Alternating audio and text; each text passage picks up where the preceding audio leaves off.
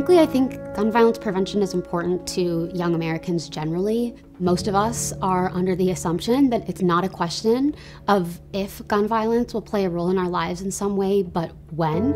And gun violence looks a lot of different ways. It looks like community violence and mass shooting, but it also looks like domestic violence. It looks like police violence. It looks like suicide and hate crimes and accidental shootings.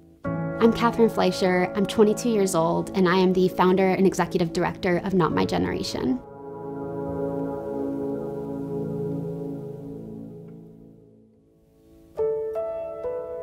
I first got involved in gun violence prevention when I was 16 through an organization called NFTY, the North American Federation Temple Youth, which is the Reformed Jewish youth movement. Really opened my eyes to this whole world that at that time in my life I simply wasn't aware of. And unfortunately, also, as life went on, it felt like the gun violence epidemic came closer and closer to home. And then while I was a sophomore at the University of Pittsburgh, the Tree of Life shooting happened. And that was a really traumatic and horrifying experience.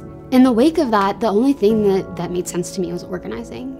And so I decided to do everything I could to do something about this epidemic. Hey. Hello! How you doing?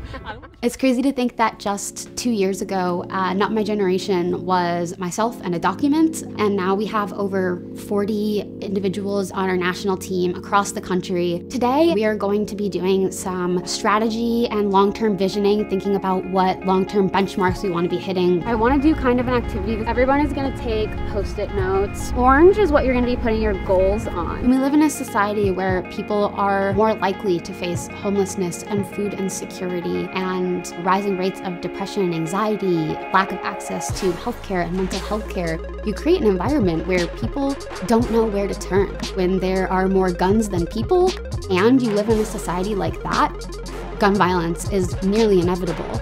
To rectify that, we have to not only take guns off of the street, but to provide, to provide healthcare, to provide social security nets, to, to provide alternative options for people so that violence is not what we fall back on. We could develop ways to do thorough and deliberate outreach and cater to different socioeconomic backgrounds by doing compensation and mutual aid. Not My Generation fills a different kind of void in the gun violence prevention movement.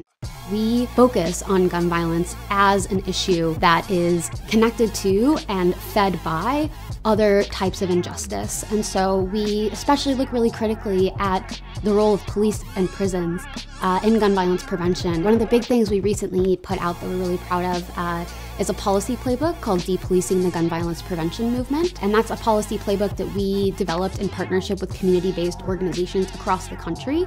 We did research on various pillars of community safety and different best practices, the way that different cities are approaching public safety, the way that different cities are removing police and prisons from their equations of public safety. And then my final goal is really try to empirically see if we can reduce gun violence in two target cities and try to build a model that'll sort of correlate our effect. I think when we talk about the future of gun violence, it's really easy to say, I want to see background checks. I want to see assault weapons bans. I want to see universal availability of extreme risk protection orders. And all of those things are vital and they're necessary, and I want to see them too. But I think that we have to think bigger than that. I would like to see a complete reframing of what safety means. That we don't feel like we have to build our communities around punishment and fear. I really believe that young people are going to change the world. We can collectively move forward towards a different kind of justice, a different kind of safety, a different kind of what being in a community really means.